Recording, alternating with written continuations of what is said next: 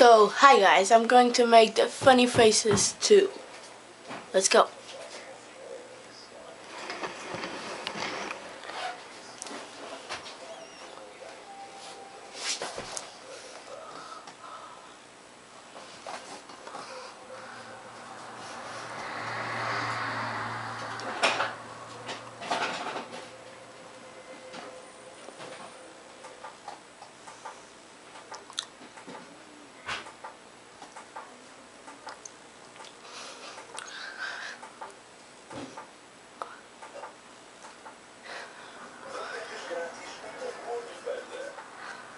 So, hope you liked it.